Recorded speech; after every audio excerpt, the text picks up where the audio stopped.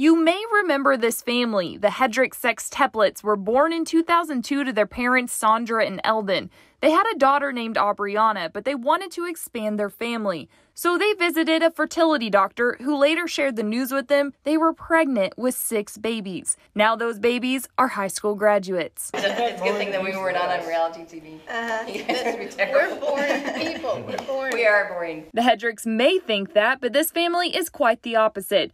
There's Ethan, Grant, Sean, Danielle, Melissa, and JC, who are all supposed to graduate this May from Norwich High School, but now can't due to COVID 19. Each had some different opinions on how they felt. I remember the first day I found out, I cried. Like, I was pretty surprised.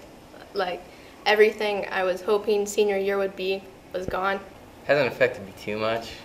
I mean, I don't really go out. I thought it was fine. I was happy that school was canceled.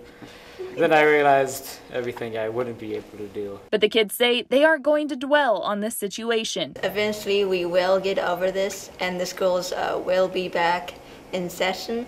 I think we'll, you know, look back at it and laugh about it. Like, I know right now it's obviously not a laughing matter, but it'll be a story to tell. Definitely be something to talk about and bring up, maybe to kids or something or grandkids. And each of them will be moving on and doing different things in their lives. But even though they won't be together, they say it'll help them find their own ways. We'll all be branching out probably into larger cities and stuff.